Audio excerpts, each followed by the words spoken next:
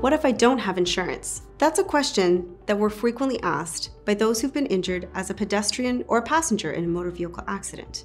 But rest assured, if you've been injured as a pedestrian or a passenger in a motor vehicle accident, you can still sue the at fault parties and you can still have access to important accident benefits like income replacement benefits, medical and rehabilitation benefits, and attendant care benefits. If you've been injured as a passenger in a motor vehicle accident, you can still access accident benefits by applying to the insurance company who insured the vehicle that you were traveling in. If that's not available to you, you can apply for accident benefits to the insurance company who insured the other vehicle who was involved in the accident. If it sounds complicated, that's because it is. And that's why it's important to retain a lawyer who knows the insurance world and who knows the intricacies of insurance law and will ensure that you have access to accident benefits as soon as possible.